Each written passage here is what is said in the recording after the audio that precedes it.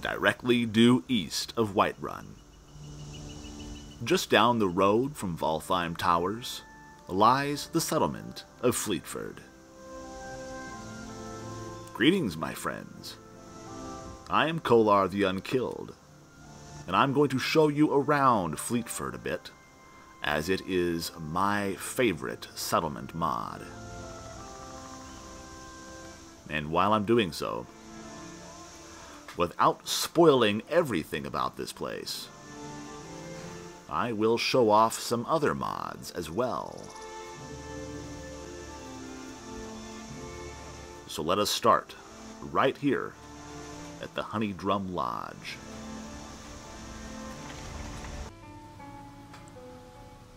Within, we find a usable kitchen and dining area.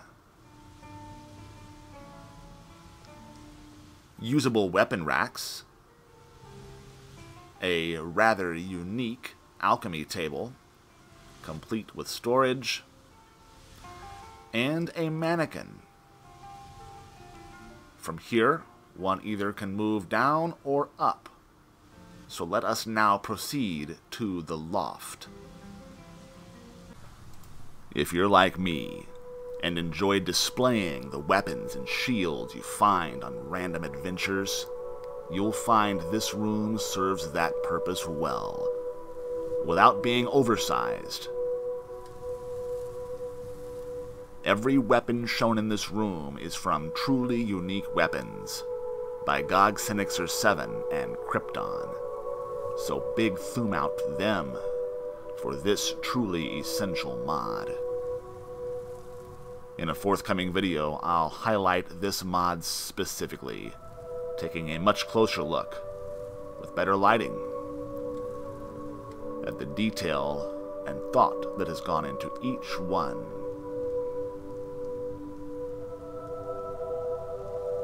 And here, unlike Hearthfire cases, these display cases allow for the precise placement of weapons. Just like a weapon rack.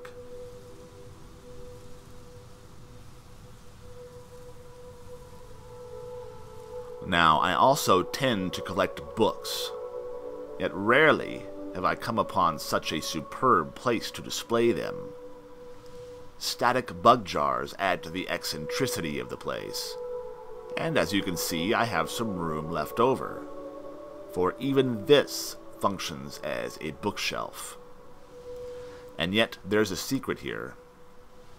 A secret compartment for the worship of, in this case, Talos. But perhaps you prefer Nocturnal, the choice is yours, as this is one of several customizable aspects of Fleetford. Speaking of eccentricity, here are two mods which complement each other very well, especially in alchemy shops and necromancer dens. Improved fiery fire salts, frosty frost salts, and glowing glow dust, ported by Divine Dibella.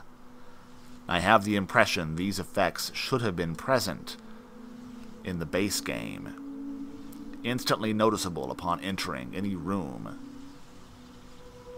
The same can be said for awesome potions, ported by Tarshana.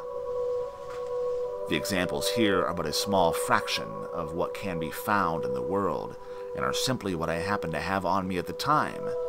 But all potions found in the world are replaced by this mod, and virtually every single one of them has some kind of movement taking place within the vials, lending to a truly magical feel. So thumouts to Divine Dibella and Tarshana for those ports. And now that we have seen the entirety of the loft, let us proceed directly to the cellar. The cellar comes fully stocked with beverages of various quality. No ale, sadly, though I do enjoy a good mead, especially during the heart of winter.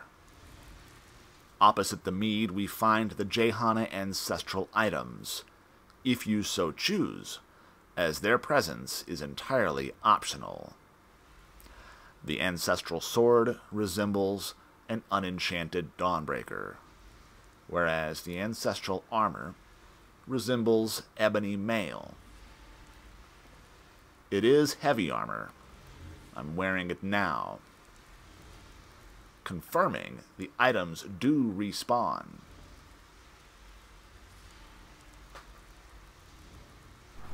This next room is appealing in a simple yet dark sort of way. The ambiance will speak for itself.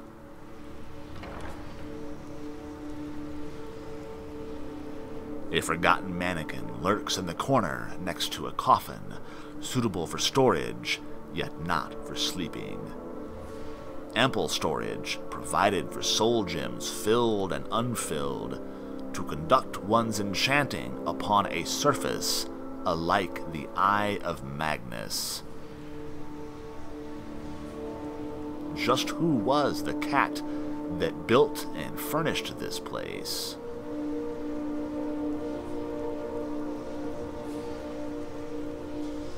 Finally, we have the Forge, and by now it should be abundantly clear. Fleetford's designer had an affinity for Dwemer technology.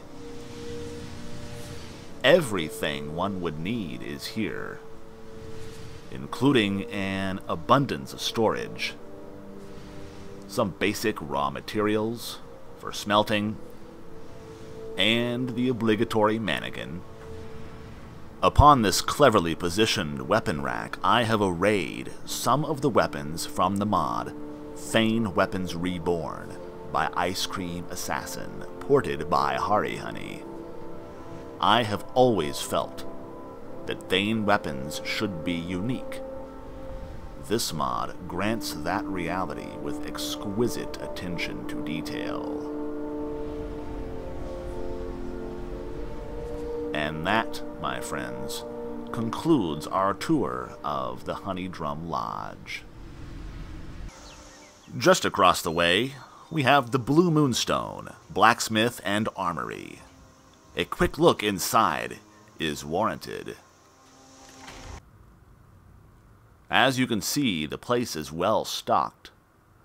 And Miarin here, the establishment's owner, is willing to go on adventures with you one need but ask. Behind the lodge is a general store called Ajax Emporium. And it is here that one must ultimately purchase the Honeydrum Loft and Cellar. From Ajax himself.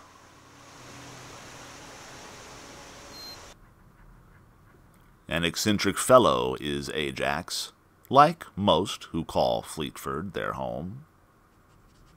He will also sell you the key to Atien's workshop. And Atien's workshop is where all the customization is implemented.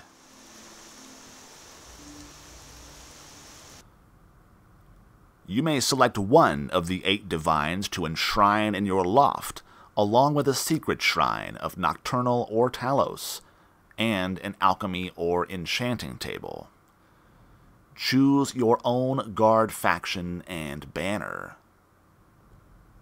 Opt in for the aforementioned Jehana ancestral items, and your own horse of a different color. Any choice, once made in the workshop, is permanent. For the magically inclined, be sure to visit and befriend the Hermit. This cantankerous old Nord Hermit is more powerful than any court wizard in Skyrim. I wonder what his life entailed before he settled in Fleetford. You'll also meet Kasha and Roxa, both merchants, and their saber cat acquaintance, Makashka, who simply stands guard. Kasha is a sneak trainer and Roxa is an able follower who dual wields. The mysterious Atienne left personal notes of goodbye for many of Fleetford's residents. You may discover them and read them, and draw your own conclusions regarding who he is and where he may have gone. As I alluded to earlier, I've always pictured him as Khajiit, though my recent research renders that conclusion unlikely. In the end, his race matters not. In Fleetford we have the successful marriage of Fourth Era Nordic design, complemented by long forgotten Dwemer tech. Situated at a bend in the road alongside the White River, right where a settlement just ought to be. I remain Kohlar the Unkilled, and I thank you for watching.